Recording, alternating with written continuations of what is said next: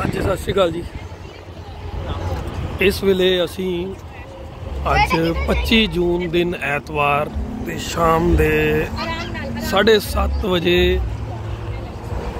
ਅਸੀਂ ਸਟਾਕਟਨ ਦੇ ਵਿੱਚ ਉੱਥੇ ਆਏ ਸੀਗੇ, ਜਿੱਥੇ ਜਿਵੇਂ ਆਪਣੇ ਇੰਡੀਆ ਦੇ ਵਿੱਚ ਚੌਪਾਟੀ ਟਾਈਪ ਹੁੰਦੀਆਂ ਨੇ ਨਾ ਮਾਰਕੀਟਸ ਇਹ ਇਦਾਂ ਸਾਰੇ ਇੱਥੇ ਟਰੱਕ ਲੱਗੇ ਹੋਏ ਨੇ।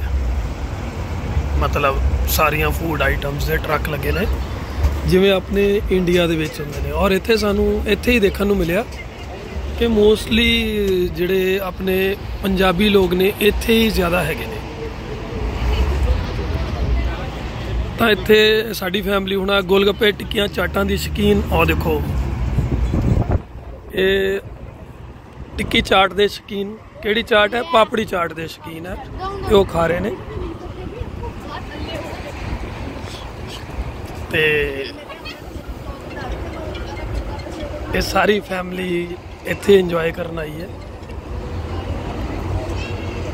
ਮੋਸਟਲੀ ਇੱਥੇ ਸਾਨੂੰ ਹੁਣ ਬੜੇ ਦਿਨਾਂ ਬਾਅਦ ਇੱਥੇ ਤਾਂ ਇਦਾਂ ਹੀ ਲੱਗ ਰਿਹਾ ਸੀਗਾ, ਜਿਵੇਂ ਅਸੀਂ ਮਤਲਬ ਇੰਡੀਆ ਦੇ ਨੇੜੇ ਤੇੜੇ ਪੰਜਾਬ ਦੇ ਨੇੜੇ ਤੇੜੇ ਕਿਸੇ ਸਟੇਟ 'ਚ ਘੁੰਮ ਰਹੇ ਹੁੰਦੇ ਆ। ਇੱਥੇ ਮੋਸਟਲੀ ਪੰਜਾਬੀ ਦੇਖਣ ਨੂੰ ਸਾਨੂੰ ਬਹੁਤ ਮਿਲੇ।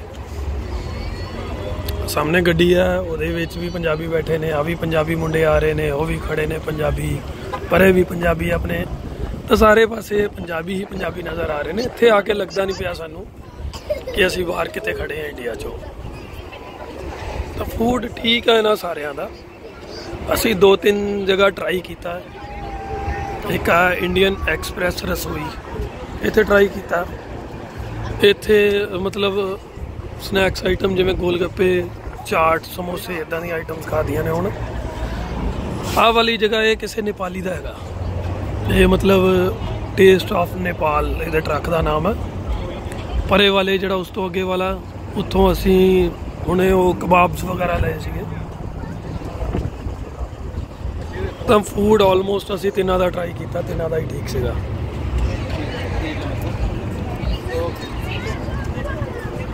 ਅੱਗੇ ਜਿਵੇਂ ਉਹ ਟਾਕੋ ਟਰੱਕ ਹੈਗਾ, ਉਹਦੇ ਵਿੱਚ ਉਹ ਮੈਕਸੀਕਨ ਫੂਡ ਹੈ।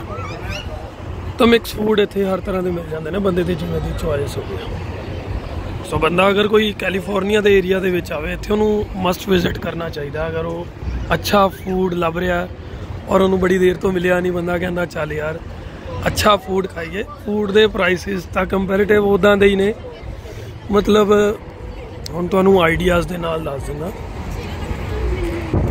ਇੱਥੇ ਵੀ ਅਗਰ ਤੁਸੀਂ ਚਾਟ ਖਾਂਦੇ ਹੋ ਤਾਂ 7 ਡਾਲਰ ਦੀ ਹੈ, ਸਮੋਸੇ ਦੀ ਪਲੇਟ ਵੀ 7 ਡਾਲਰ ਦੀ ਹੈ, ਦਹੀਂ ਭੱਲਾ 7 ਡਾਲਰ ਹੈ, ਕੋਕ 1 ਡਾਲਰ ਦੀ ਹੈ, ਸੋ ਇਦਾਂ ਦੀਆਂ ਚੀਜ਼ਾਂ ਹੀ ਨੇ ਸਾਰੀਆਂ।